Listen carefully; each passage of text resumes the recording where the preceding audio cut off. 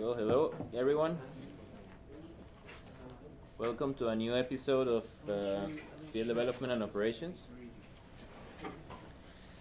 So I want to start uh, the lecture. Let's see if it's recording. Okay, I want to start today's lecture by just doing a brief um, summary of what we you saw last uh, last week.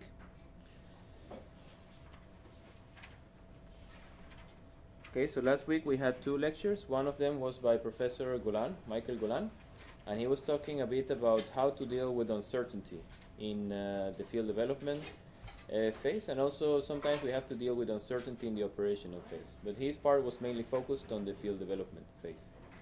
So he was addressing the particular case, and you saw that we did that with uh, uh, prob probabilistic tools. Okay and that means the particular case that he was um, that he was addressing was that you have you want to calculate a number you want to calculate total recoverable reserves okay?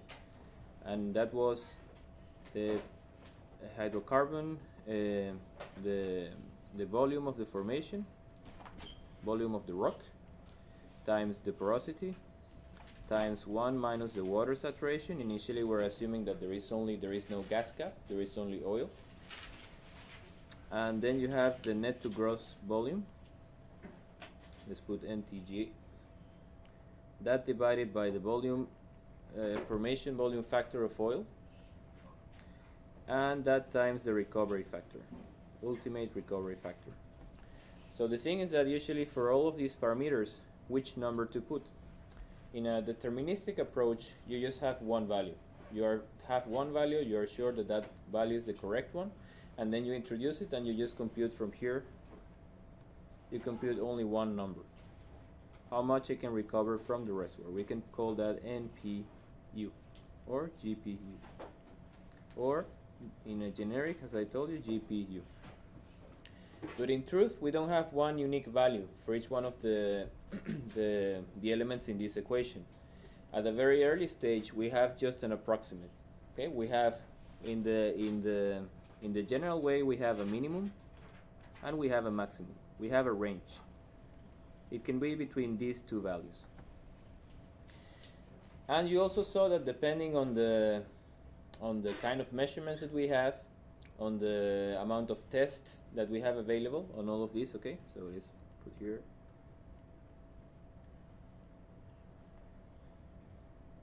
It's possible to, to characterize, not just to have a minimum and a maximum, but also to characterize with a probability function how is that value distributed.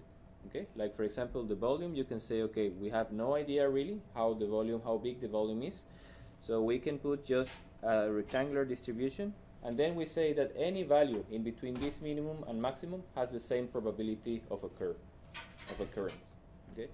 While then it comes to porosity, we have a minimum and a maximum, but we are sure, for example, that it should be close to, let's say, 0.3. Okay, we said that this is 0.3. Then for water saturation, then we are not so sure, but we know it should be around closer to the lower bound. Okay. So this to take into account all of these uh, variations. So to take into so if you choose only one value and then you compute the, the in this case our function which is total recoverable reserve okay that's called a deterministic analysis. And that's when you don't have any uncertainty on the values on the input values that that equation is using that that uh, expression is using. But when you have uncertainty you have to deal with the pro probabilistic approach okay? So let's try to finish that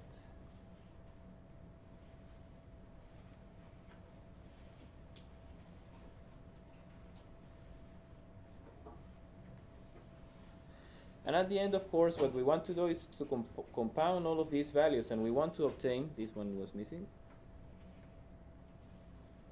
and we want to obtain um, also a function, a probability, um, a probability distribution function, and a cumulative distribution function of the total recoverable reserves.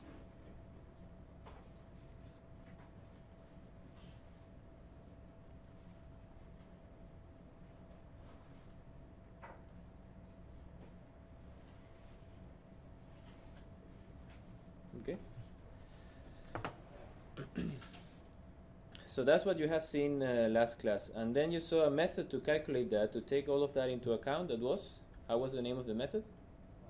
Monte Carlo method. Okay.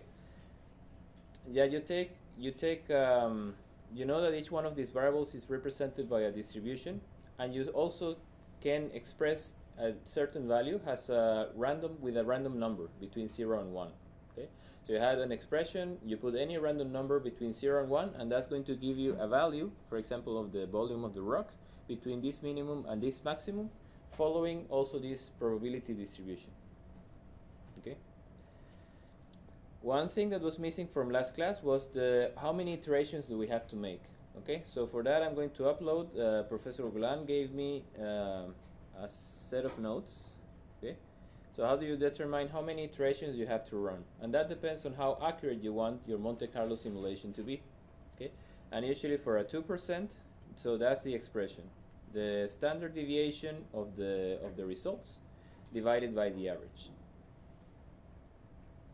So you just, um, in, in uh, I think he was doing an example in class, right? And he was setting that upper number of iterations.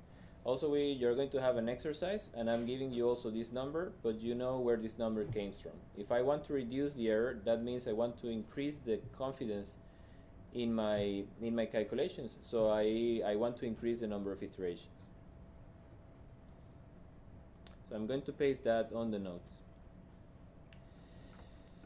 So in order to, so that was done using that's Monte Carlo simulation.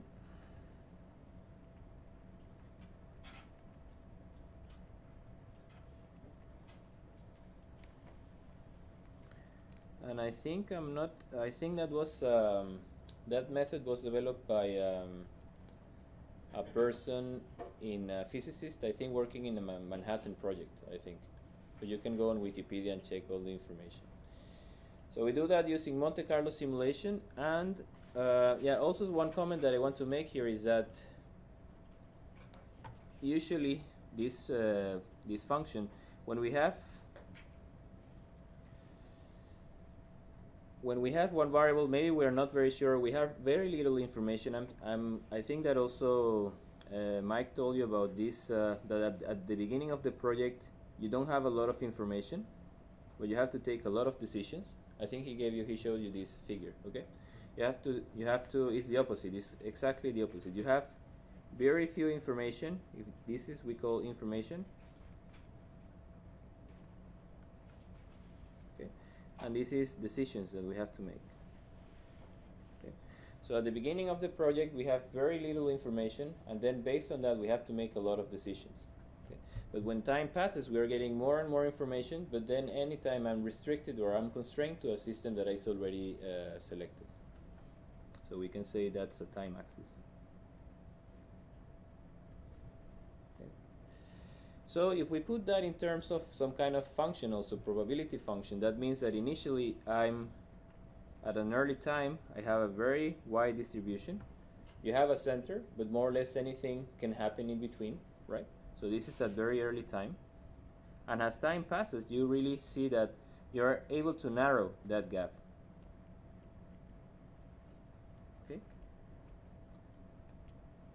Until ideally I'm able to close the uncertainty and be very sure that it's almost around, it has to be very close or around a certain value.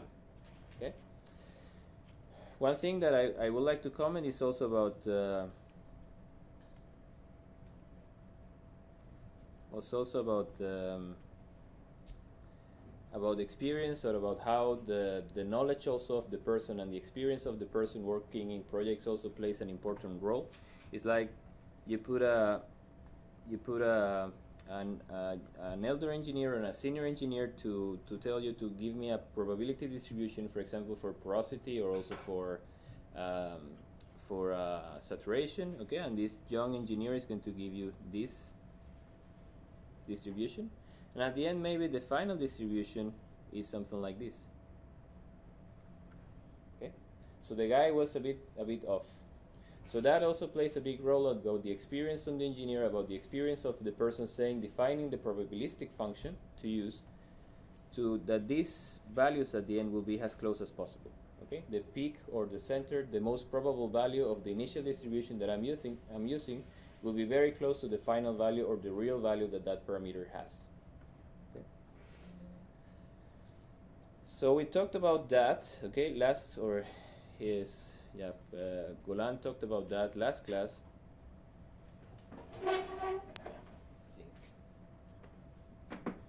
Because there is some, hmm? yep. If you are using the deterministic approach, Mhm. and for example, for the high, if you are calculating the high estimate of the recoverable reserves, so we will be using the low estimate of the like for water saturation. Well, you you have to run you you have to get a curve. Okay, it's not that you get a single value. No, for the Okay. deterministic.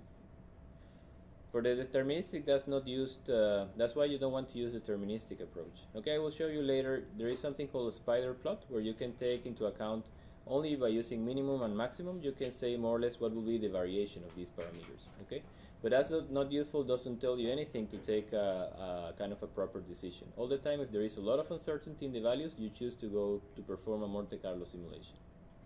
Okay. Okay. And for example, if we are using the uniform distribution for all the parameters, Mhm. so the, the, the NPV, so the recoverable reserves we get, if we make a distribution for the recoverable reserve, it will be uniform No, distribution. no. No? Depends on the on the equation that you're using. So if Okay. you're using the uniform distribution for the all, all of the parameters, porosity, water saturation. But the, the depends on the equation that you have. For example, if it's a summation, I think then you obtain uh, as also a uniform distribution. But in this case, we have a multiplication and we have also a division, so that also plays a role. It's not only the the distribution of each individual parameter in the equation, but it's also the equation that you're using. Okay. And uh, uh, here we are only considering the, the uncertainty in the recoverable reserves, not in the costing, the cap, capex, opex. Yeah, we will discuss cost later in the lecture. Okay. Uh, something else to note. Okay, so Monte Carlo simulation, and I'm going to paste here just in between these slides. I'm going to paste the, the maximum number of iterations.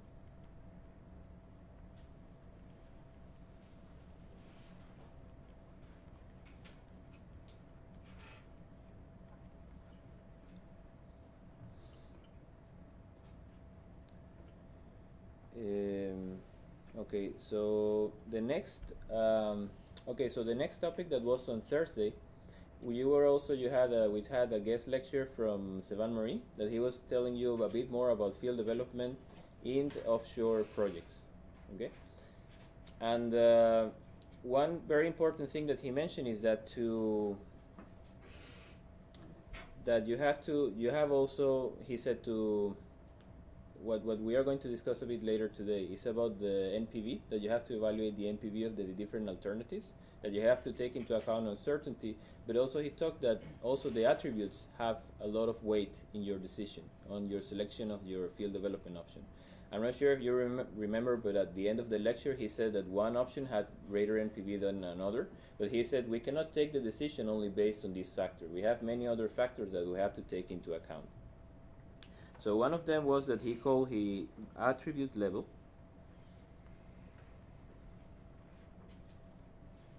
Okay, and this attribute level, he said that they might be things that we have. For example, he said certain production system might be uh, sooner ready sooner than another one. Okay, so that's an advantage for our project. Might be more flexible than others to scale in the future. But that those kind of things they are a bit difficult. At the end, what we want to have is not only a bunch of words or a bunch of advantages and disadvantages, but we try to put that all in that quantitative way. Okay, so the like the approach that he showed, how that's typically done. Okay, so that's more or less what I already showed you.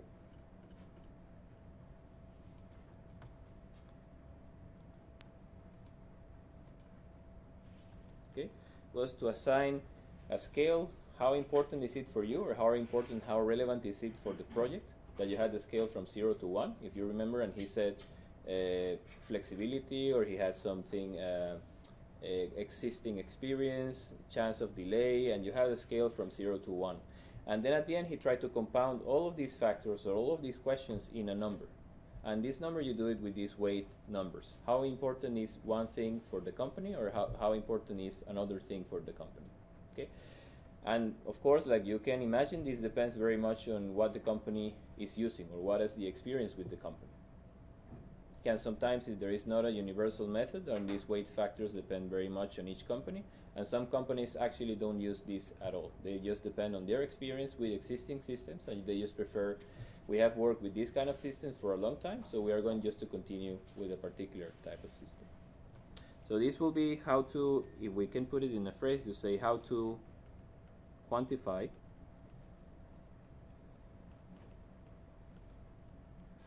Or how to assign a qualitative quantitative value.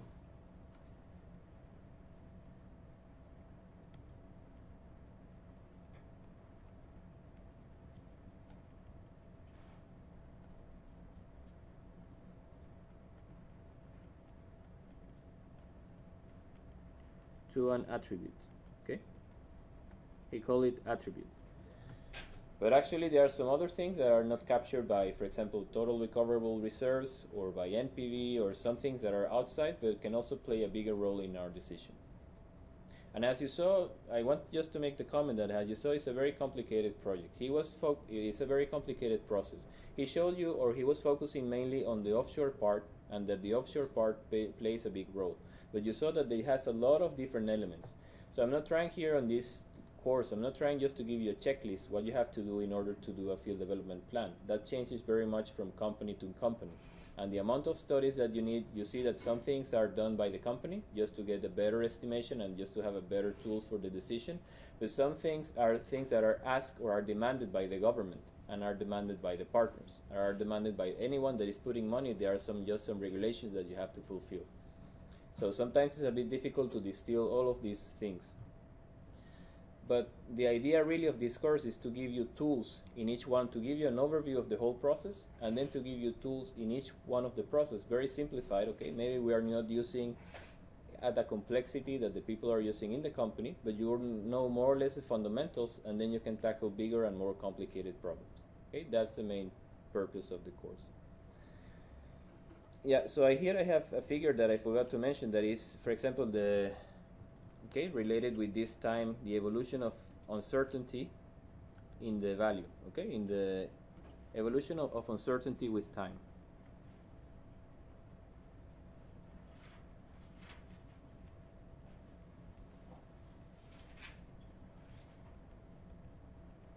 Okay, and here we have a forecast. Okay, we have uh, for the next uh, seven days or something of the temperature, how the temperature is going to be in Trondheim.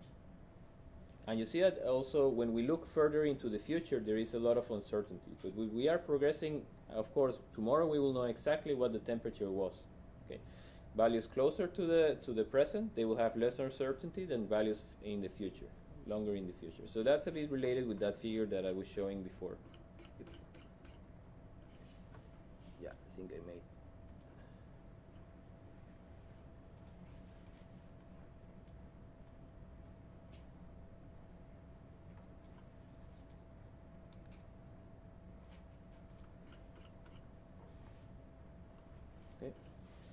And that's related with this figure that I was showing before. Okay, with time, you have all the time more and more information, but uh, at the same time, and you have less and less uncertainty. So the uncertainty will be also the opposite decisions and uncertainty.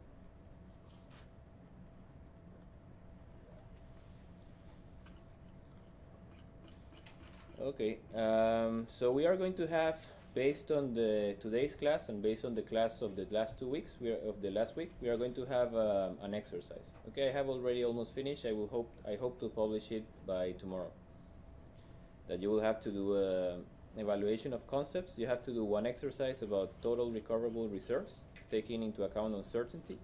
And you have also to um, to do uh, npv calculations for two options to to develop a field an offshore field by the way, any comments about the exercise? Any question that you had after now you you were doing the exercise? No? Everything was clear? Yep. Uh, can you uh, show us how to solve the problem 3.0 with Solver? The problem?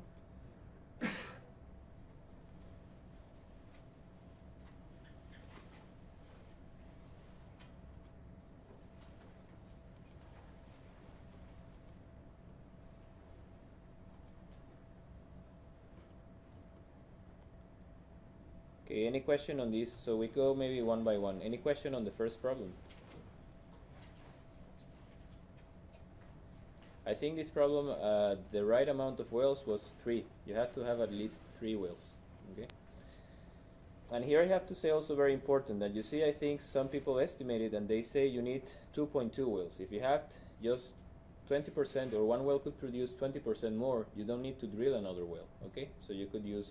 So one thing that you could recommend, and that's also encourage. You know, yeah, I give you the the homework but it's also all the time I encourage you to put something extra. Okay, if you want to do extra calculations, if you want to challenge the, da- the data that I'm giving you, or you want to go beyond the exercise, that will be great. Okay, you have to do some. These are kind of the basic fundamental things that you have to do to deliver. But also, I encourage you to, to if you want and if you have the interest, to give something extra. So one thing was that how can you to avoid this third well that maybe is more expensive okay it's, it's most expensive for my project maybe how can i live with two wells? So in that case i have to increase a bit the the production from from the wells okay? I have to increase the potential that i can get from these wells. And we will see that later in a different section production enhancement techniques. But basically you have to make it uh, easier for the fluid to flow from the formation to the separator Okay, and you have many techniques for that. You can improve the flow through the formation, so you can do some treatment, you can do a stimulation, you can do fracking, you can do uh, you can do things also in the well. Maybe you can increase a bit the size. Okay, ESP. you can put well if it's a gas well, then we cannot use ESP. Yeah. Okay, so we can put, for example, a compressor in the wellhead. But all of these measures, you have to have some other parameter to evaluate how good they are, because it's not good that, for example, you put a bigger well or you drill a bigger bigger well, you do a stimulation, and at the end the cost will be the same that like to drill an additional well. Okay, so the economical part is very important. But in this case, I think was something close to um, uh, yeah three wells have to be at least. Then uh, this problem, uh, I think that was very straightforward from the from the classes, but I think it's uh, was something like five or seven years for the highest plateau rate. Then you have something like ten or twelve maybe for the second, and the third plateau rate was like seventeenth, okay, for twenty. You should have something like that.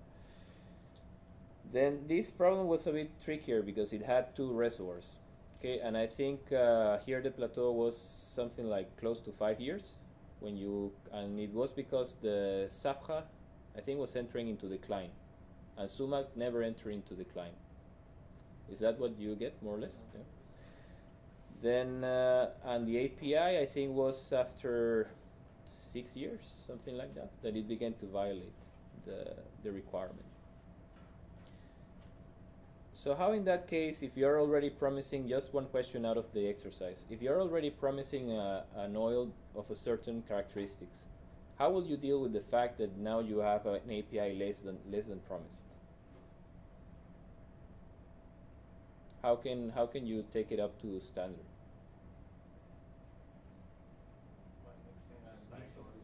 You can mix if you have another assets, and that's a very important fact. If you're, an, uh, for example, a national oil company that you have some other assets, you can try to do blending of a higher API crude to get to increase the API of that oil that you're supposed to sell. Okay? Because some things, if you sell with a lower API, maybe they won't accept. They want to pay you less for this oil, or maybe they even don't accept at all. Because some refineries they just have a limit on the API that they can handle. If they goes below certain value, they're just going to reject the crude. So that might be one one option. Uh, okay, so the other thing was to okay, the question was to um, to if you want to change now the splitting. Okay, we still want to produce 170,000 barrels from the field, but now we want to change. We saw that Sumac lasts for a long time, even you know after I think 10, 12 years but Sabha is finishing the plateau very quickly. So we want to use that to our advantage, and we also saw that the API is higher at the beginning. Okay, it's much higher. I think it's two degrees API higher.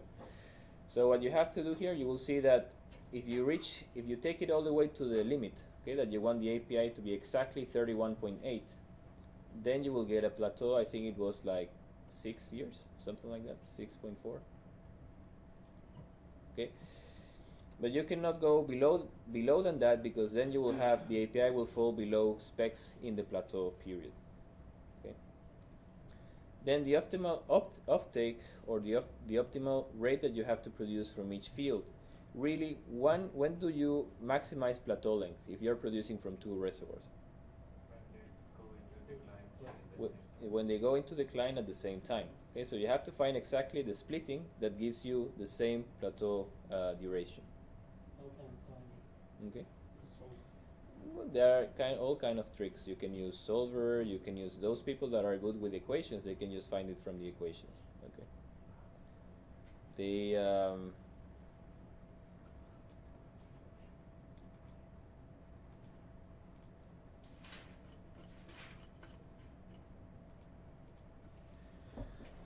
okay. You have that rate from Sumac and rate from Sabha they have to be equal to 170 thousand barrels.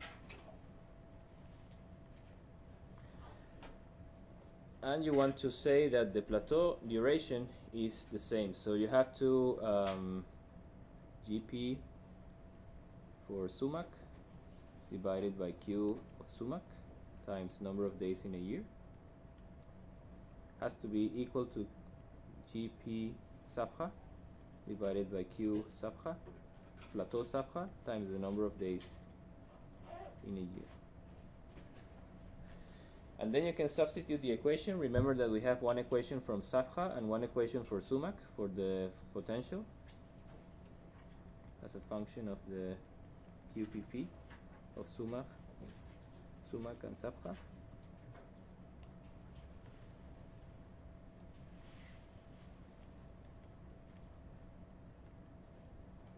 That's only one, one, one approach how I will do it. But if anyone, you know, maybe using Solver, maybe using any other approach is valid. But the, the point is that the two of them have to, the plateau has to end at the same time to maximize plateau.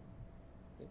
So you substitute these two equations here, and then you have two equations with two unknowns, and you solve it, and then from there you find uh, the rate, how much each reservoir has to produce in the plateau plateau rate. Okay. That's exercise three point. I think it was three, right? We tried that way, but we got a linear equation Mhm. that's equal to zero, but all of them were unknown and we couldn't find.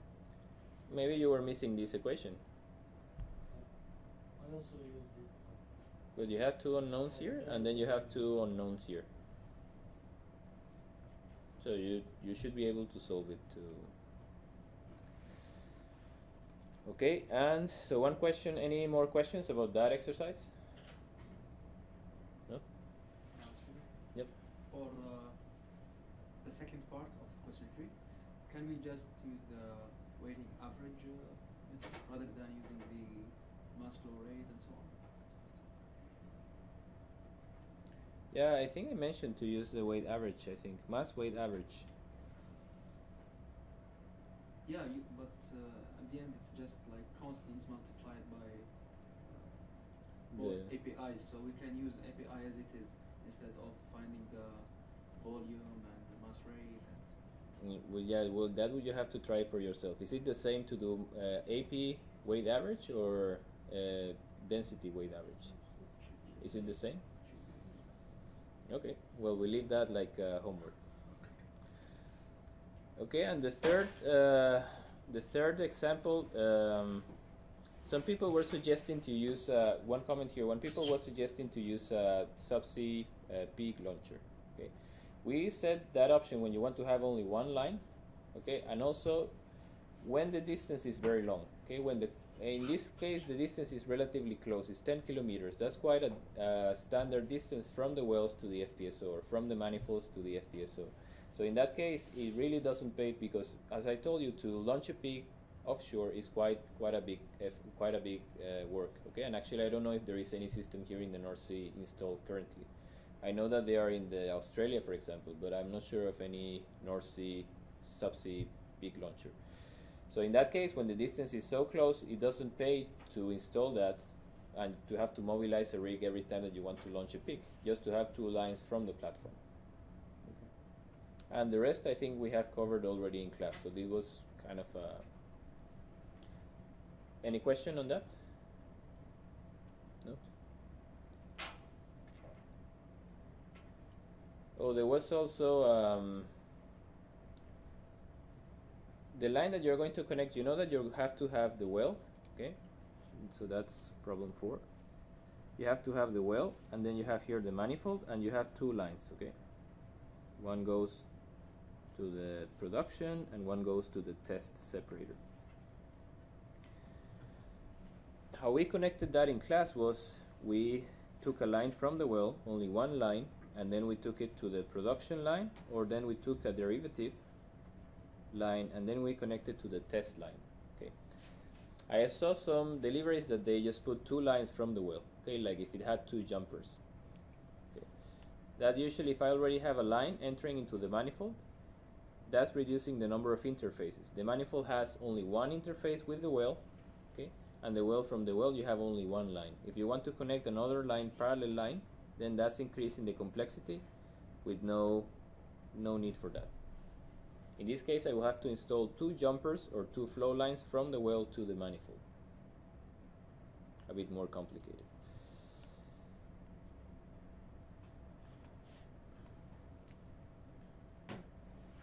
Okay. Any more questions? Yes. Can you, uh, sorry, can you show how to switch the um, pig, pig launch and the receiver pigging facility? Well, you just put it here like we, we explained in class. You have one line.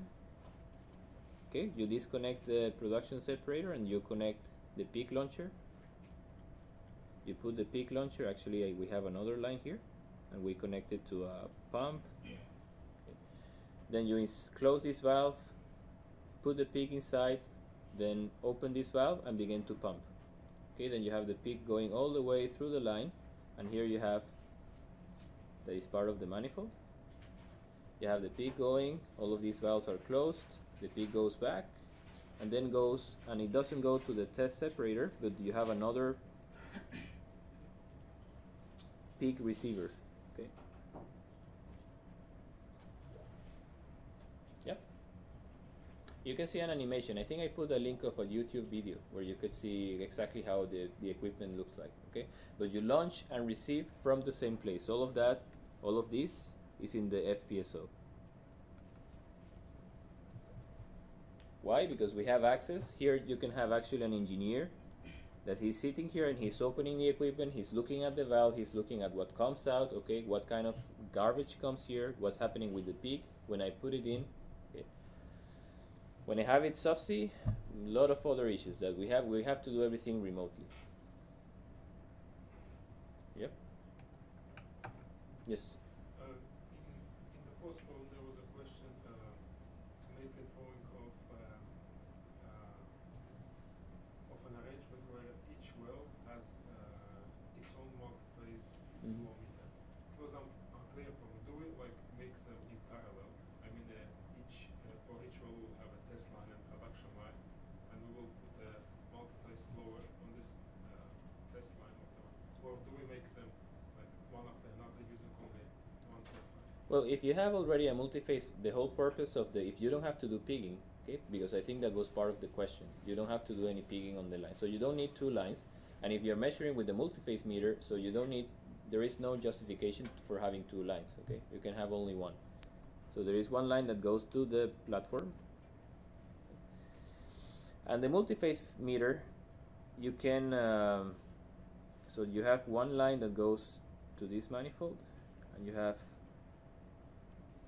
one valve. So the multi-phase meter, you have two options with your knowledge that you have so far. You can put it either in the wellhead. You, if you remember, that was almost like a self-contained template. Okay, the, that's not that's not just a point or just not just not just a well. That's a whole structure that is housing the well. Okay, so you can put it either in the same structure. You put here the multi-phase flow meter, and even if you want to add robustness, you can say that you can put an option either to produce to the multiphase meter. To put it a bit bigger.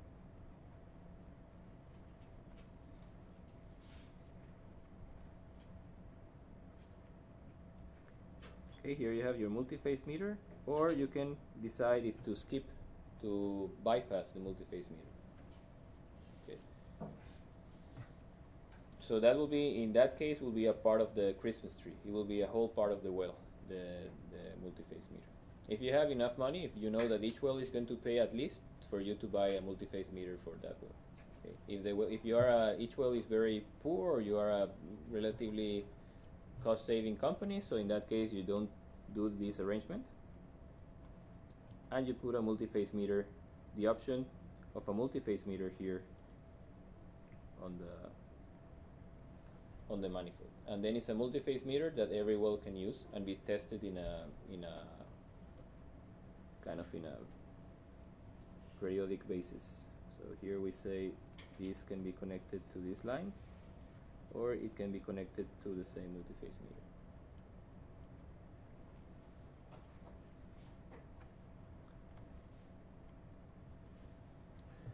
Okay, so we abandon the exercise. Everyone no- has no questions? Everybody understood the exercise? Okay. Remember that that I told you. Maybe you don't have to put these extra things. You don't have to put it on paper. You don't have to deliver it. But all the time, think about extra things that you can do with the exercise, or how can you expand it further, or even to question the assumptions or the things that are written in the exercise. Okay. If I'm putting one value, you say, is that a reasonable assumption or not? Okay. Uh, so I want to now to start the, to have a small discussion on another way to capture uncertainty. Okay, another way for decision making.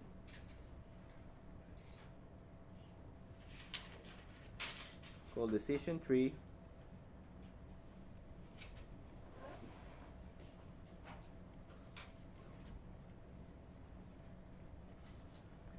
And that's a tool that many project managers, maybe a lot of engineers are using to take decisions. And they are say they are using this tool, a decision tree, to also to account for uncertainty. And it's a different way to account for uncertainty um, than the one that we discussed before. So first, you have to do a decision. You have to actually to draw a tree, depending on the variables that you have. So let's say that you can have, um, let's say that you can have. Um, Okay, uh, one thing before that.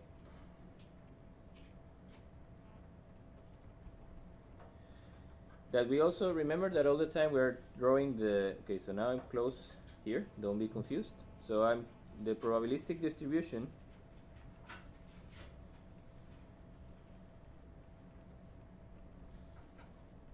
okay, we are using it continuous. Okay, you have certain variable, for example, porosity, and you're saying that is continuous. But actually, sometimes you need to use it discrete. Okay, you need to have actually three values of porosity or four values of porosity, and you have to assign to each one of them a probability of occurrence.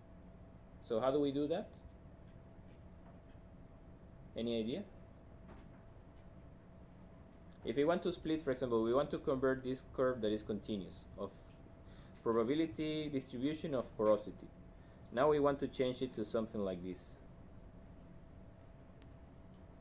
It's the same example that you saw with uh, with Golan, okay? That you had certain. I think he was doing an example on workers and the number of days that were they were going to work.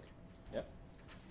So for that case, for example, you say split the porosity in three intervals, and you, here you take just this value, and then you take, for example, you don't take the maximum, but you take you divide in three the interval of porosity porosity max porosity mean. So it will be max minus mean divided by the number of divisions that I'm going to have is 3 and then I take the first value will be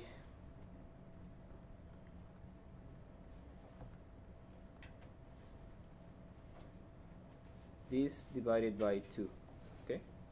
Because we want the value that is exactly at the center.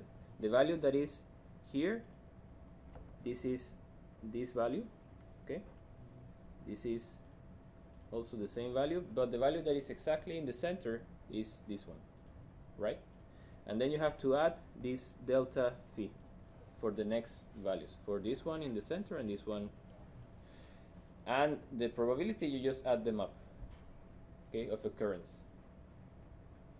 you make the integral. In our case, we have to make the integral of all of this area that is below the graph, and this will be the probability that we have to assign to that porosity. Then we do another integral of all of this area that we have here, and that's the value that we assign to this number. Okay, so something very important sometimes that you will see now exactly for the decision tree, we need to have only one value or we have to have a set of discrete values. So let's do very quickly and then we take a break. Um, an example to, we are want to have, see, we have different scenarios, okay? We can have an oil price, different oil prices. And we have, for example, let's say $20 per barrel or $10 per barrel. And the probability that 20 will occur is, let's say, very likely. So we say it's 70% and the probability that 10 it will drop below 10 then let's say it's uh, 30% so we have here the value.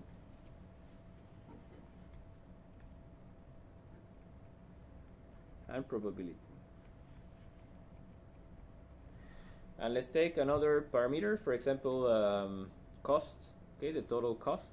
We are we are at an early stage. We are at this stage, so we don't have much information. How much it's going to cost. We only have approximate information. We even haven't gone to the vendors to ask for information. How much that's going to cost. So let's say that we have three uh, costs. Let's say it can cost, um, let's put it in billions maybe. Um, again, 20 billions, okay, US dollars. So we have again uh, 25, or sorry, 35 or 45.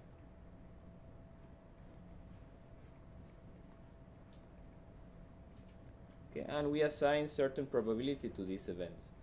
If we have, uh, for example, we have a very good knowledge about this number, we say, okay, there is 80% probability that this value will occur.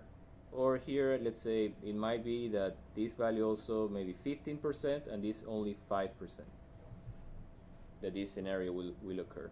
Cost of let's say facilities.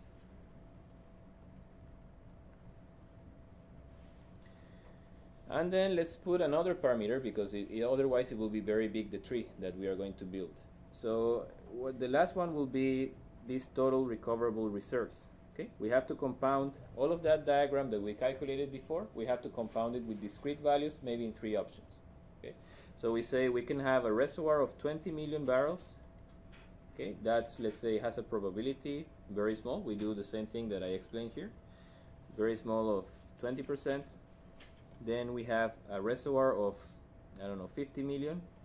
That one has a more likely probability of 50%. Okay. And then we have uh, one of maybe 60. And that has a probability of the rest. So that's 0.3, 30%. Then we make our tree. These are all the variables, and as you see, none of them we have really a decision. Okay, we cannot decide on any of these variables. We cannot decide on the oil price. We cannot really decide on the reserves. Okay, we cannot decide of how much it's going to cost at this point in time. We are in an early phase. We don't know much about it. So all of them are chance. Okay, chance uh, decisions. So let's say let's start with the price. So to put a, a, a chance node, you have to use is a circle. Is a mm -hmm. chance node.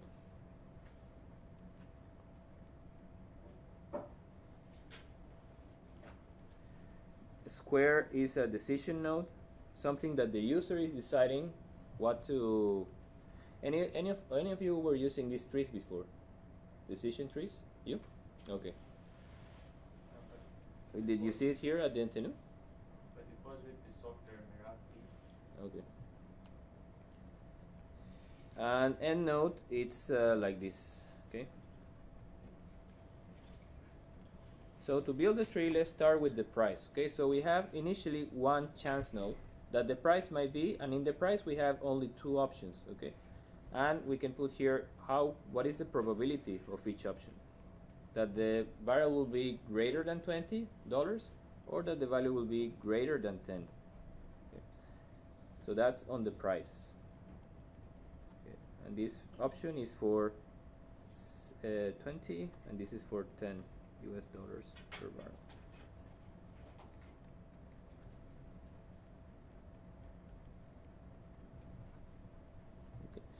then at this point we have another chance. Okay, we have if any of these two scenarios are selected, then we have another chance. We have a chance that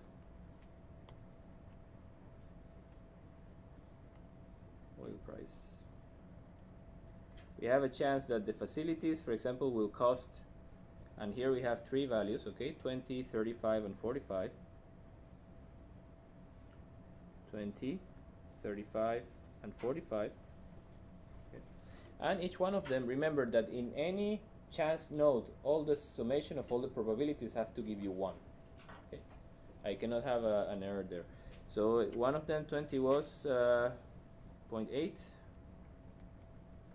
Then you have uh, 0.15 and 0.5 and I have to have the same exactly for this other node so maybe I have to lower it because I won't have enough space.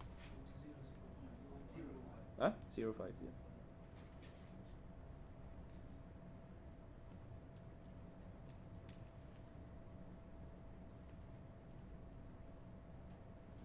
Okay and again you have the same thing. Let's copy that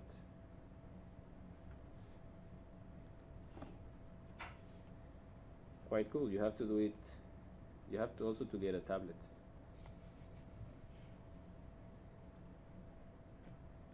Well not so cool then. Still have to do some homework. And here we had the last one that was 0.05 and then for each one of them we have 10 different possible uh, recoverable reserves uh, three sorry okay? So we have again we have here a chance node and we have three. Here we have another chance node and we have another three another chance node and here we have another three. And the idea of these three is just to tell you at the end of each one each one of them you have so let me just pull the I have already messed up enough so you can have the final picture.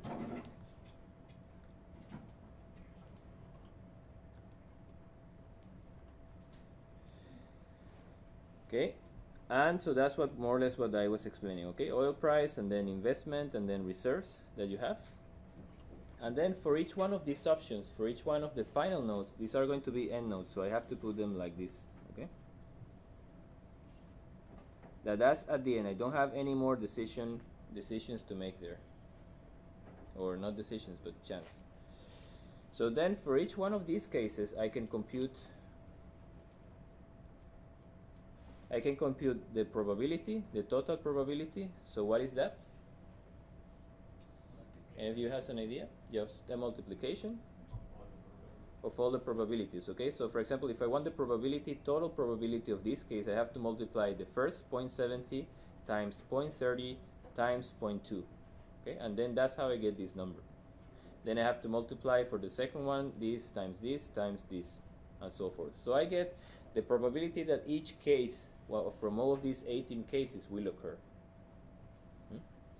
And then I have that I do deterministically. I go, and that's a big job, okay? I have to calculate for each one of these options what will be my NPV. For that, I have a, already a system in place, a computer routine or something, that I just change the input of these values, and then I obtain different NPVs for all of these projects. And then I compute then that doesn't tell me much, okay? That tells me, for example, that I can have a very successful project with 60, but that's only if all of this happens. But I can have also a very bad project of minus 20, minus 27, if all of this happens. A very low oil price, that apparently I have to invest a lot more than what I thought, and then, you know, maybe I didn't have as much as I, as I thought, okay? So this is a way to tell you so there is a way to say to put a value on all of these three to put a value on all, on all of these uh, options that i have to invest okay if you're the company and you say i want to invest in all of these in it all of these could happen in one scenario that i'm evaluating right now. So how can i assign one single value to this project? Okay so the idea is that you multiply the npv times the probability and then you sum all of them up. So it's kind of an npv weighted average with the probability with each probability. And that gives you the final number and this is the number that the whole project could have the, the potential NPV that that project could give you and then with this value you see if it's worth or not to make the investment or to continue with that, continue evaluating that project. Okay, and you can also do with these values, you can also do your probability distribution function. And you can see what is the most likely value that you will have. Here is NPV okay, versus probability. And you can have also the cumulative distribution that tells you also cumulative distribution function for NPV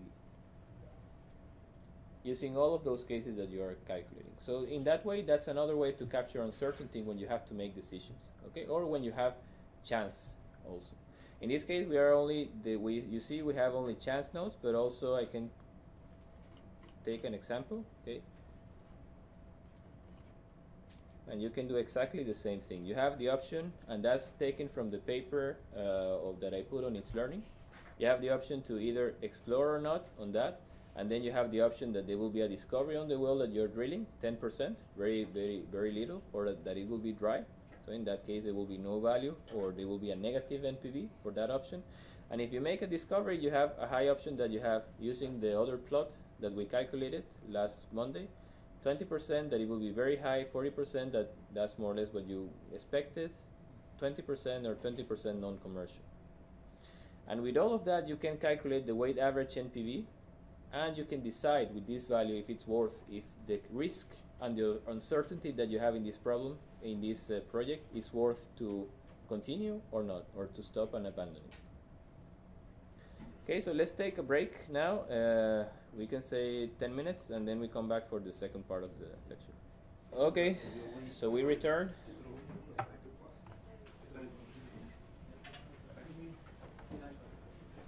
Okay, so now you have seen uh, some tools. Okay, basically I will call them tools. Okay, because um, one is the Monte Carlo simulation to, to, to deal with uncertainty, and really this method you can use it for anything. Here we have done the example on total recoverable reserves, but uh, but really can be applied for, eh, of course, for NPV, for any other kind of calculations.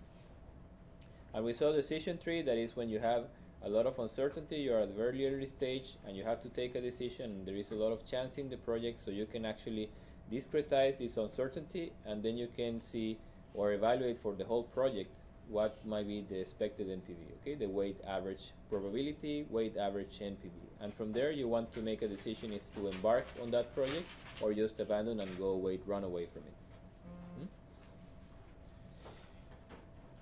Uh, okay, so I want now to, uh, uh, the last part of this lecture is going to be about cost, okay, about uh, the economic calculations, economic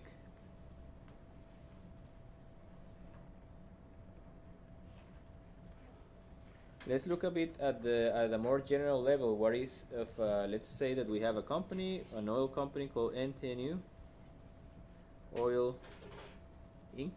Okay.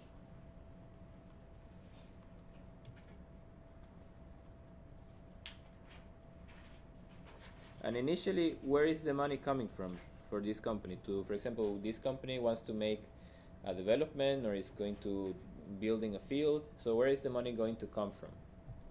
First, it's going to come also from the same company, maybe some other assets that are giving revenue that it can use, but it a uh, big part comes from loans. Okay, loans, banks. Okay.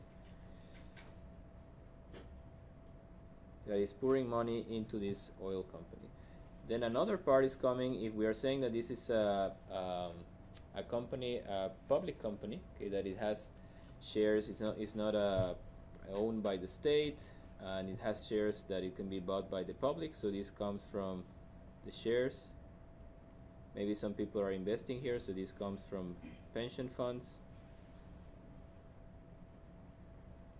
Okay. bonds.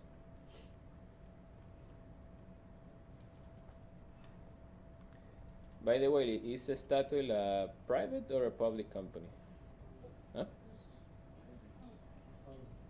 It's private, so the, you can buy. If I want, I can go and buy shares from Statoil. If I want, yeah. Okay, sure about it. Okay. So the the main the main expenses. Let's say that this company is starting or starting a project. So what are the main expenses or the main uh, cash payments that this company has to make?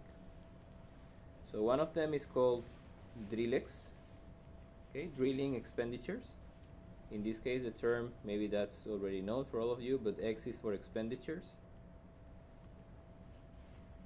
It's not for the XY, for anything, just expenditures. Okay, and these have to do with. Uh, so how how do we calculate Drillex?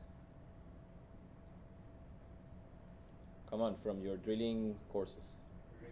Hmm? So we have rig rental, okay, the daily rig, daily rig uh, fee or daily rig, yeah, we can call it fee. So we have, of course, um, services.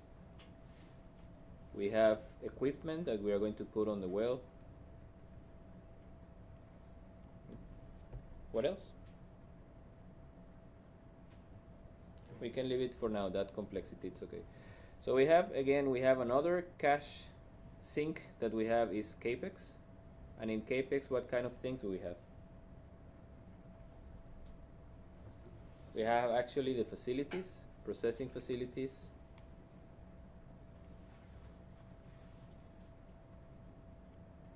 So let's put here a minus because that's coming out of the company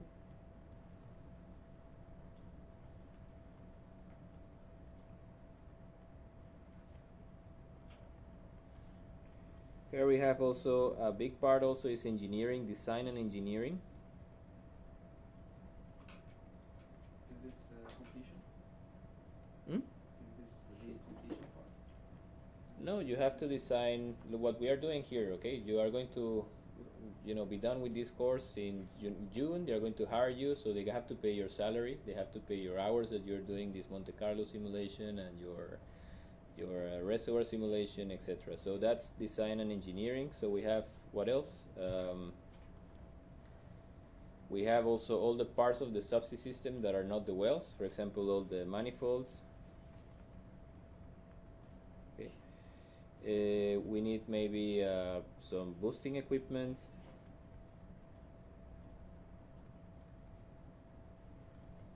What else can you think of? That is inside capex. Pipelines. Hmm? Pipelines. Pipelines.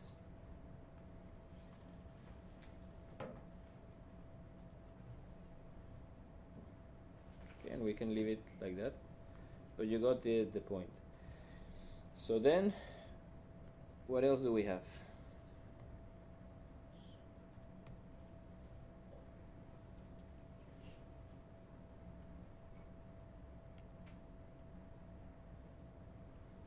Okay, another cash sink is called the OPEX.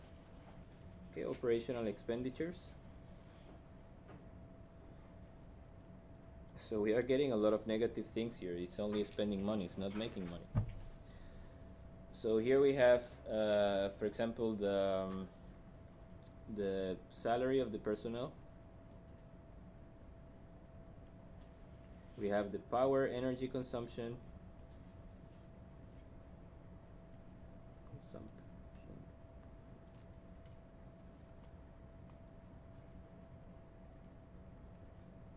Okay. We have uh, maintenance that we have to make. We have to maybe replace some equipment.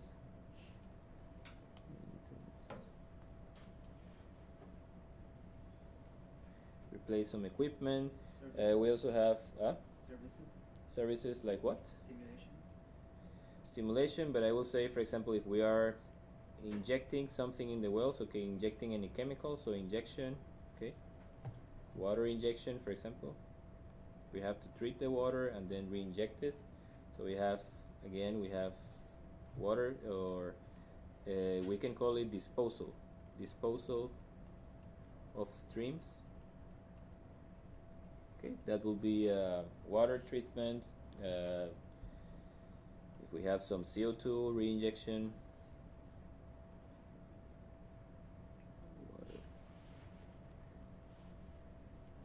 What else?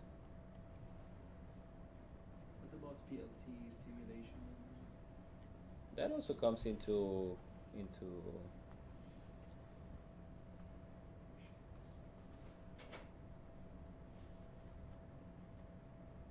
to the OpEx. Yeah, now I don't have space, so I have to go down. Oh, I have. Okay, what else I have here? Only negative things. So there was one thing that he was um, uh, Eter Madar, the the uh, engineer from Sevan. He was saying, do you remember any other term? Also finishing ending with uh, Bex, X, Abex. Okay, abandonment. That's also a cost that usually has to be taken into account. That is to abandon, aban- plug and abandon the wells.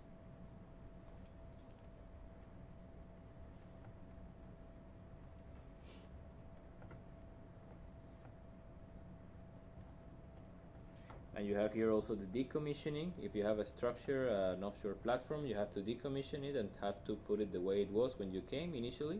So decommissioning of equipment.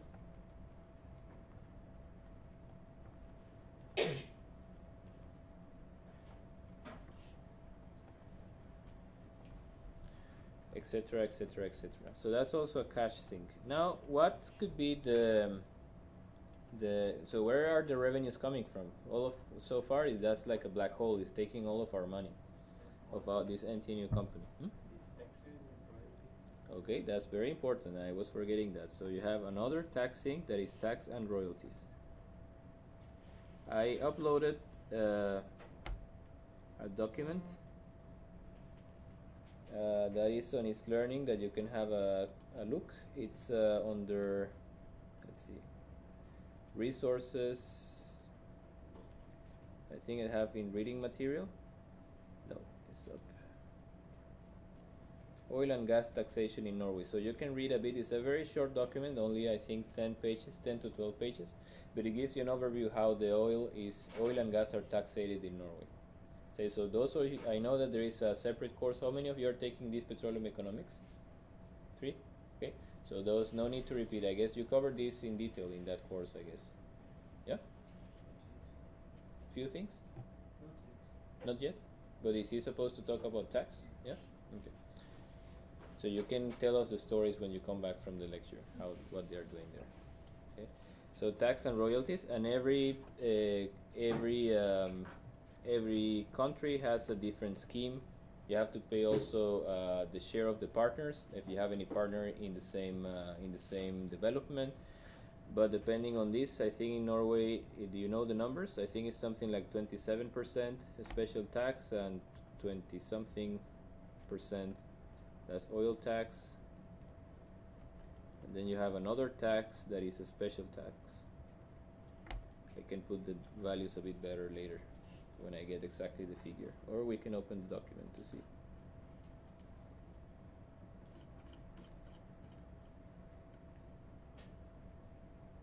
Okay, tax rate at 27%. Maybe it's not big for you enough. Okay, 27% and an additional special tax of 51%. So actually the number was the opposite, 51 and 27.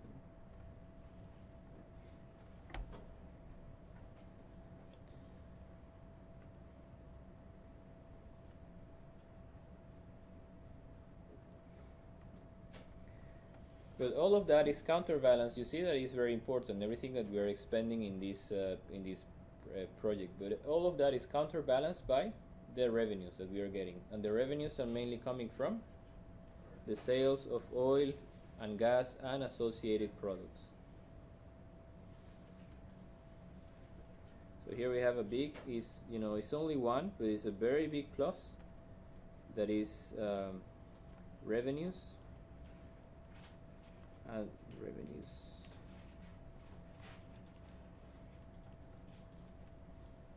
Sales of oil, gas. Maybe we have condensate production. We have condensate.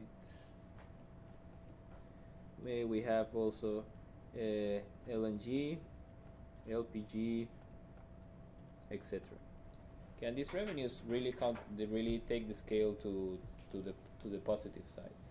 But after that, after we have all deducted, we have deducted all the things that we have to pay, all the OPEX, so we end up with some revenue, okay? We end up with some cash flow.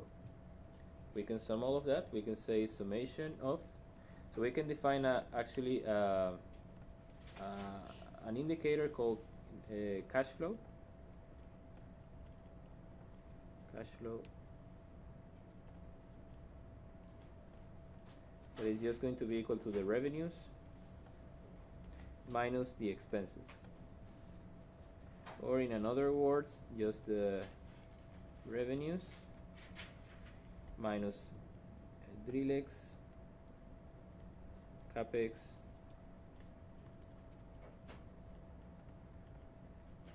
minus opex,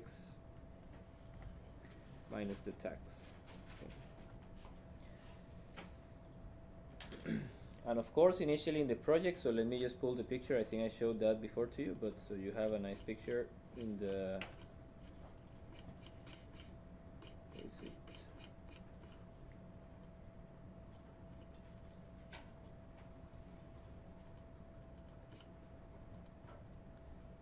Okay, we have uh, initially we don't have actually any revenue because we haven't begun to produce the field, so we have only expenditures in capex, we have expenditures in Drillex, but then after we begin to produce, we begin to get revenues, and also we have to begin to pay our tax. We have to pay. Um, uh, yeah, we have to pay our operate operational expenditures.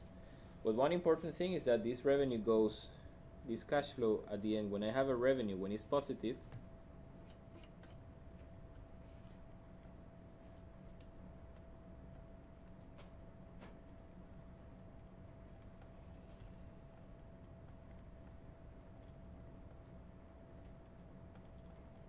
goes to if you remember what we had initially at the top of the figure okay? We have to pay we took some loans to do this project we took some uh, commitments financial commitments so it has to go back to paying those financial uh, financial obligations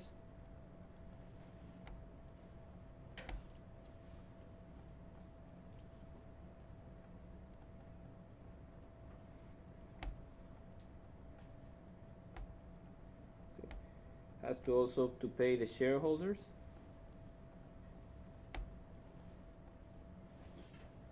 Okay and all the people investing in the shares of the company? And some part also goes to reinvestment?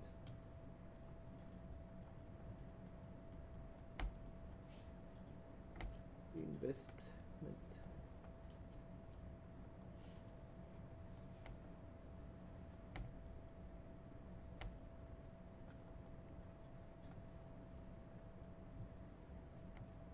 for some other projects that uh, that company might be pursuing at the moment. Okay.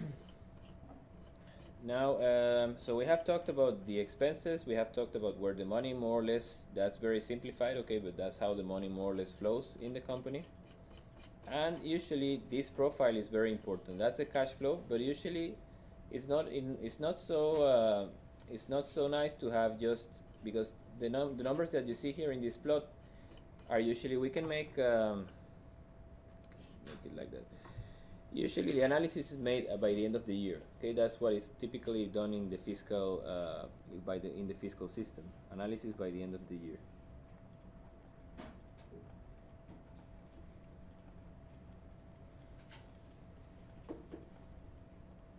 So we can do if we think all the time we're thinking about how to put it in Excel. So we have time in years.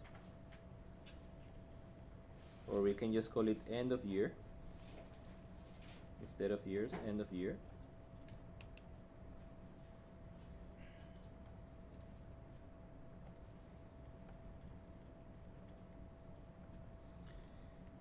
And we have the end of year zero. Uh, here we won't have anything. The project hasn't started yet but we have one two three four end of year one and so forth and here I began to put my expenses okay? So I have to put Drillex capex opex. Then I have my revenues. Let's put it like that. And tax. And here I can calculate my cash flow that is just well the formula that I mentioned before all the revenues minus all the expenses but this number per se that number is given in amount of dollars or amount of kroners that I will spend by that year. So if we want to make really a, a meaningful analysis, we have to use the present value. All of you here know what the present value is? Yeah? Yes? Okay. So we have to use the present value and we just take that. I think I had here a definition.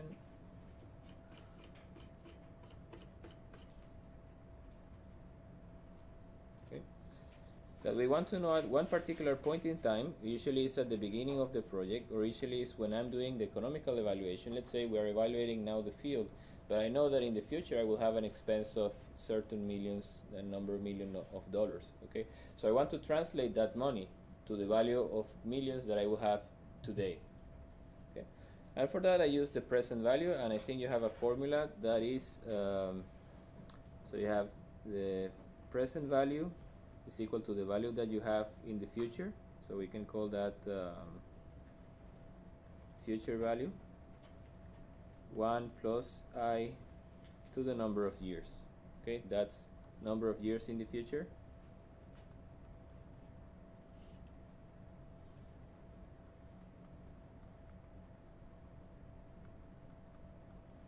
And this is the yearly interest rate.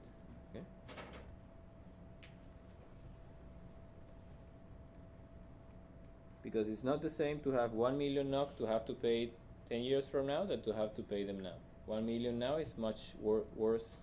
The, the value is much more than the ones that you pay in the future.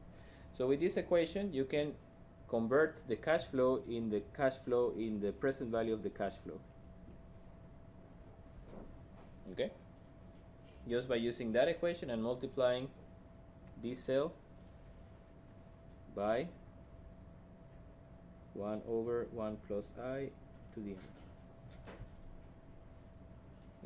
And that's how you obtain this nice plot that I am going to show you a particular case for Bison. That was one example that the students were doing two, where is it?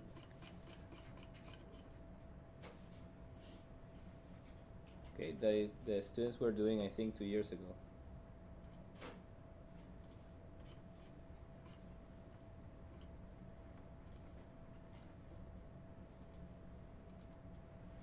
Okay. And this period really changes with the with first in offshore in, in offshore projects this expenditure is very much pronounced okay but uh, you can read that from the paper of uh, if you go to the reading references uh, where are they? Reading material? Okay you have I, I recommend you I think I put it on itslearning to read these two references okay? If you read this paper is uh, I think to my opinion is very good and it gives you a good overview of the whole how are the planning and the economical part of the field development okay? So I took actually that figure from there and you see that for uh, for an offshore for an offshore project the expenditure part is much more pronounced it's much more pronounced that for an for a that for an offshore project. Okay, it's much more pronounced. And really, these values, some companies they depends on the on the on the attitude of the company. Some companies prefer to spend a lot of money, so this one will be even deeper. But to have a begin producing or begin having revenues much sooner in the life of the field. Some other companies prefer to delay the pain and to invest uh, less, but in a longer period of time and beginning having revenues at the end. That also depends on the strategy, what are other projects you have that you're producing simultaneously at the same time, and where are they supposed to enter into into production. But, uh, if, Yep. if they if they prolong their uh, expenditures, it will affect the NPV. So It will affect the, the total NPV, but some people prefer, let's say, if they want to commission everything at the same time and they want to have it everything ready by this date, okay? Because they have a goal to begin producing at some some time. Okay, they don't want to delay this process, for example, for six years. They want to have it in four years. If you want it quick, you have to pay much more. But depends. For example, I think Petrobras is working with this kind of approach. Okay, that they want they prefer to invest a lot of money initially to get things done quickly, but then they enter into production. What happens with the offshore projects is that you can begin producing. You put things in place and you can begin producing already having revenue much earlier. And then you use the revenue that you're getting from the existing wells to drill the extra wells that you have to put. It's much easier to hook up the system, to put, to put new wells, to add new wells into the production system than in a subsea system. Usually in a subsea system, we try to, we begin producing with as many wells as possible. Okay, only a few will remain. Uh, okay, so here we're missing one thing in our table that you can have the, we can put it small again. Going to move it again to the right. So we have one thing that I guess you already know is the NPV. We can call it cumulative NPV. That is, in this case, will be just this number, but now in this cell it will be this number plus this number, these two. Now this again will be this plus the one from before, okay? And at the end, you find a cumulative, an NPV that characterizes the project. And that's the number that we want to use, for example, in our decision calculation that I was showing before. That's where the number is coming from. Okay. The total NPV. We can put a picture also from the same paper.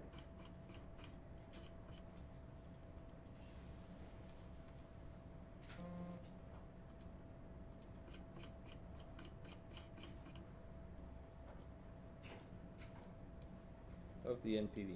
And if you see here something very curious that is in relationship with the question that I had before in, at the beginning of the class, that you see you have the same curve but you have three colors. You have one high case, base case, and low case. What that could be? What do you think? Okay, that depends on the oil price that they are using for their calculations. Okay, at the end they will have that they have used, for example, twenty dollars per barrel okay and they give you some npv1 then they use 30 and that gives them one npv2 and 40 and that gives them an npv3 okay? And it gives them a different cash cash distribution cash flow distribution in your in your whole project okay?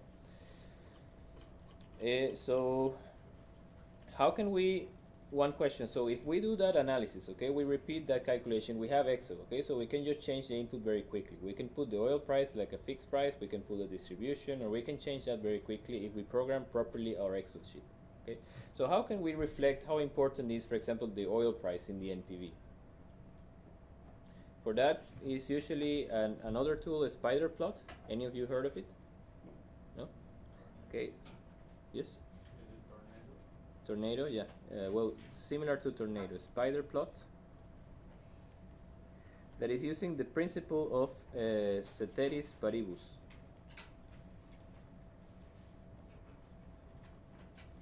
You can search for that on internet. But basically, is that if we want to study something that depends on too many variables, we try to first fix all the variables as possible to keep them constant, and then we make variation on only one variable and see what is the outcome. Okay. Then we leave that one fixed. We begin to change another one, and we see what is the outcome. Okay. So in this kind of plot, you have uh, a y-axis that has, for example, the value of the variable that you want to analyze. Okay. In our case, for example, will be NPV. And we want it might be a lot of change. For example, orders of magnitude on the NPV. If you change, for example, the cost from 10 to 50 dollars, then you can have an order of magnitude of one change, one change in the order of magnitude. So what you want to do is you want to say that I want to put y minus to normalize y of the base divided by y of the base times 100 and the base is with no variation. You, for example, choose 30 barrels, like the value, like the base case. Okay. For example, thirty dollars per barrel. And this variation, then it goes from, for example, 100% to minus 100% variation. Okay. And here you have the um, the variation in the parameter that you want to analyze. Okay, in this case, we want to analyze what happens with the oil price, and the oil price also we have to do the same thing. So in this case, goes x. That's the parameter that we want to change.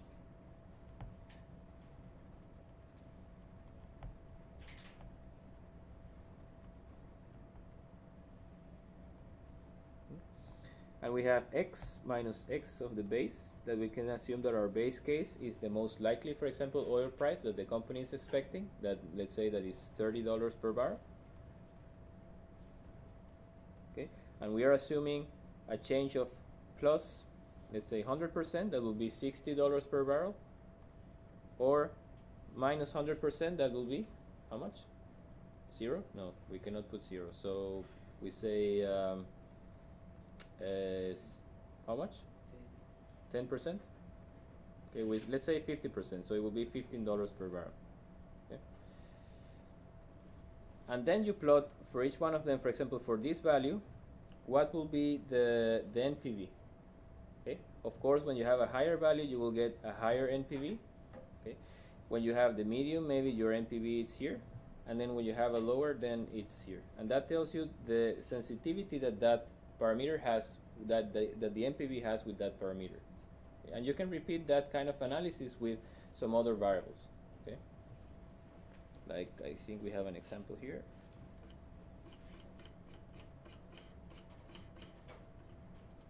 Okay that's also from one exercise that you will have to make.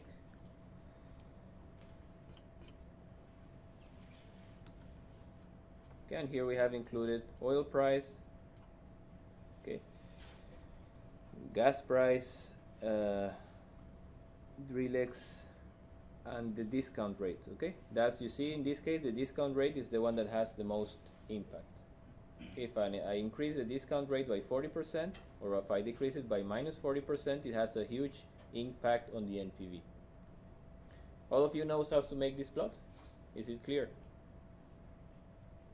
Yes no we are awake no we are sleepy we want to go home. Huh that clear for all of you. No? So okay so how do you make the, the plot? You first say you have to define your your parameter okay? You have your x parameter and you have the minimum x minimum x in the base and x in the maximum. Okay and let's say that that's the price of the you have x1 that can, might be the oil price. You have x2 that might be um, uh, what do we have here? Gas price.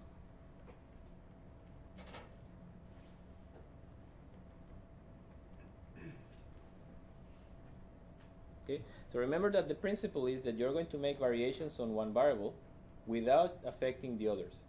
So let's say you want to make this variation so here x2 will be x2 base.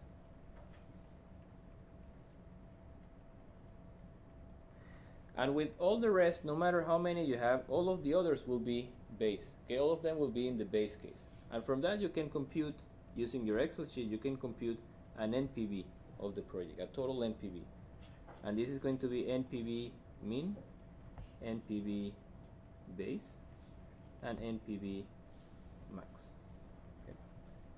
Now in order to plot it because we want you say I told you the order of magnitude if we are going to put on the same axis uh, the oil price let's say it will be from 30 to 60 okay? But the Drillex might be from I don't know 1 billion to 3 billion okay? So the scales are different. So that's why I'm telling you that you have to normalize okay? So if you put it in percentage that's hiding the real value of the variable but this is still reflecting how much is affecting the NPV so you then you do the normalization so you put uh, x normalized okay and y normalized with the equation that I showed you before. And this is the the this is going to be these three points that you're going to plot. For the oil price is this point this point and this point. And they are in the same color in the same series because it's only variation in the oil price right now you repeat again with the other factor. Now you want to see for example what happens with the gas price. So the oil price we leave it at the minimum at the sorry at the base. But now you change the gas price to x2 max x2 base and x2 min. And all the rest remain in base. Then you find an NPV max NPV min and NPV sorry, base and me.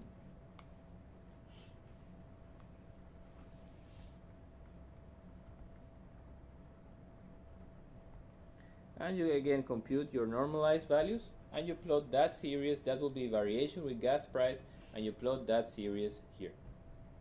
And of course, you begin to see that you have a common point in these two series. You have this point is the same as in this series.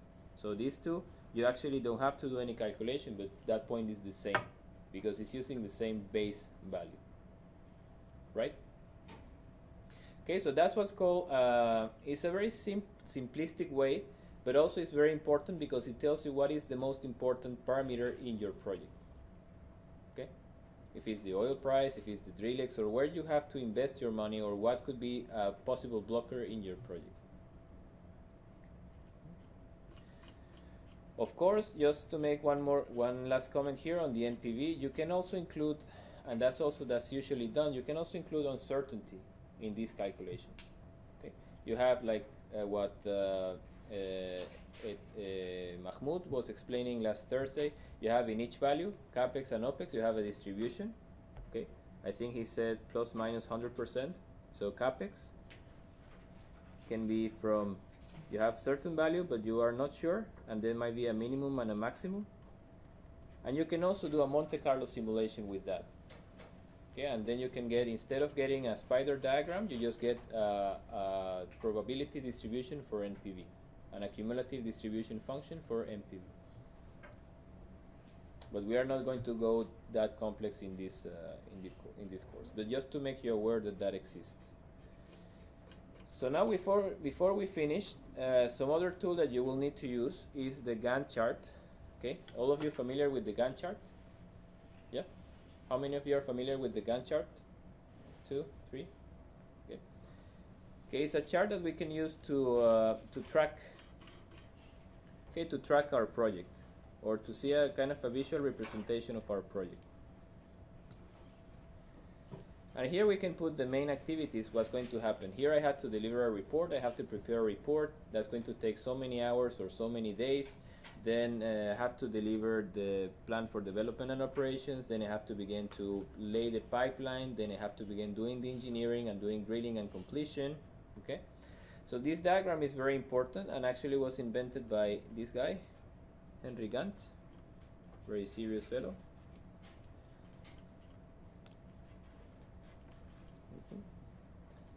And uh, and of course that's a very important tool for project managers okay? You have to be aware that they exist. You maybe want even to use it for i don't know if your master thesis or your project but this is kind of the prayer that every project manager makes to Gantt okay? Because he's so great so we look at the sky and say thank you Gantt for giving us this wonderful tool for that we could use okay?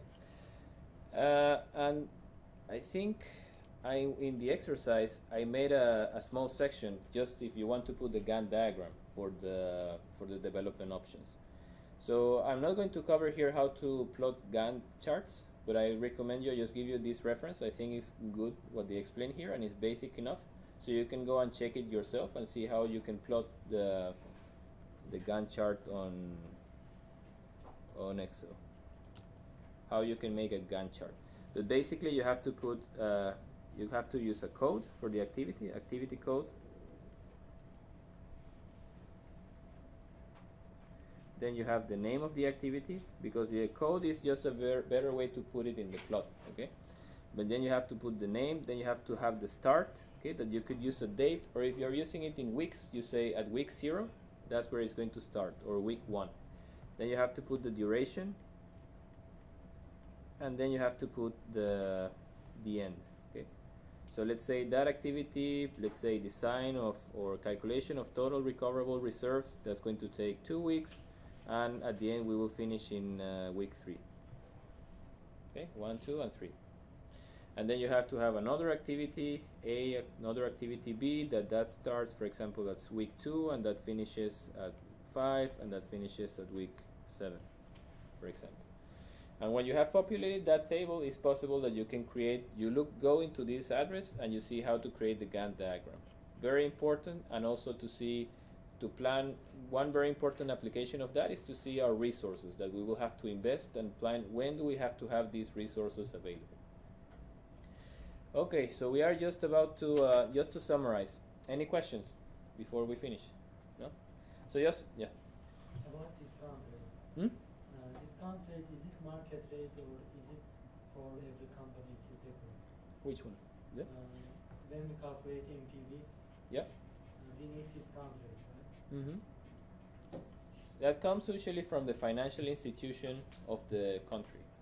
Okay, they might take different values, but usually we they take from the financial indicator of the country, for example. Okay. And for the same project, every company has different NPV calculations, right?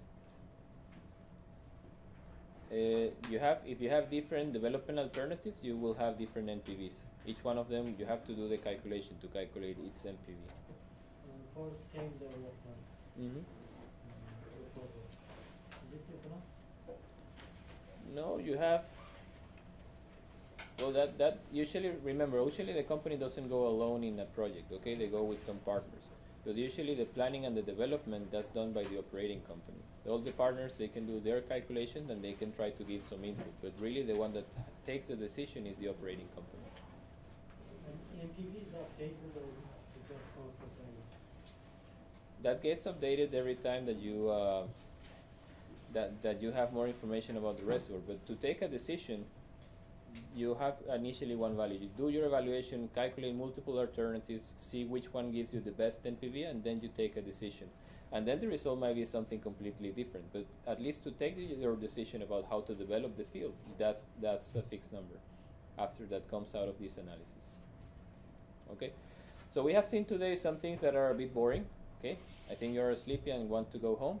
But these are very important tools for doing uh, field development studies. Okay, so first we have seen how to take into account uncertainty. That we is not enough to make deterministic calculations, but we have to do probabilistic calculations. And for that, really, the best tool and the tool that is accepted and the tool that everybody is using is Monte Carlo simulation. Okay, and they use it. It can be used for NPV calculation, or it can be used for total recoverable reserves, etc. Then we saw. Um, then we um, we talked about another tool that was important. Uh, well, we talked about that, but that was uh, said the last class. Okay, about how we can put some variables that are not quantitative quantitative to something quantitative. How can we assign a number to these decision parameters? Uh, then uh, we talked about another tool that has to do with decision and has to has to do with chance. Okay, that is the probability tree. And there, as Bilal said, there are commercial programs that you could use. You put the different scenarios, and that's going to calculate it automatically for you. But remember, there is a calculation involved here. For each one of these, for each one of these cases, you have to have an NPV value. So that value has to come someplace. So you have to have either a, a Excel sheet that you can change very quickly and calculate your NPV, or you have to do it manually for each one of the cases. But this is a very powerful tool that allows you to tell you to give you an idea if you should go and invest in this project or not. Uh, some other thing that we saw that may be repetition for you, but uh, we we talked about uh, the cash flow in an oil company and in the different phases. We said initially you have to do a lot of expenses, you have to pay a lot of things, DRILLEX capex, to uh, just to get the system installed, and still you don't get any revenue. But later in the life of the field, you begin to have a lot of revenue, but then you have operational expenditures, and you have to pay to um, to back to the partners, you have to pay back to loans, you have to pay back to the investors. Okay, and we saw that a very important number there is how to calculate the present value of the cash flow, or they call it also the discounted cash flow. That is all that refer to the same reference, because it's not the same. The value of the of the money is different in time, and at the end, the only the unique value that we want to use is the NPV to assign a value to a project. Okay, to see how uh, profitable it is or not. And finally, we talked about, well, before we talked about uh, this spider plot that is very useful to see which one is the most important or the most relevant, relevant value. And this could be used for anything, okay? I'm using here the example of NPV. But you could have used the same example for total recoverable reserves. Using the same equation, you define a maximum and minimum and uh, base, and then you compute and you make this plot.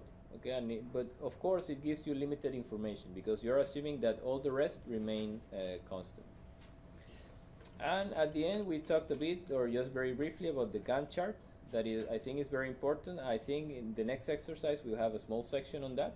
using for managing the project and see when each phase is going to start. And I just tell you that you have to please go to this address and try to read the instructions how to do it in Excel and try it for yourself before you do the exercise. Okay? So we close for today. Thank you for